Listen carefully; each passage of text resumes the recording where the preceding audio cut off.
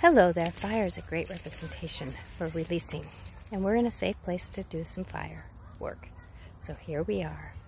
So I'm going to put something in front, and you're going to attach whatever you want to let go of onto that so that you can release whatever you need to release.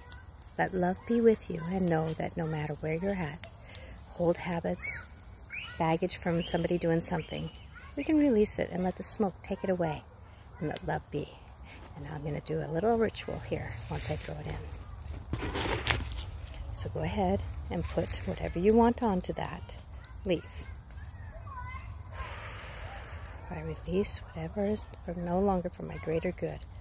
And I attach it to those leaves so that they can be to the greater good.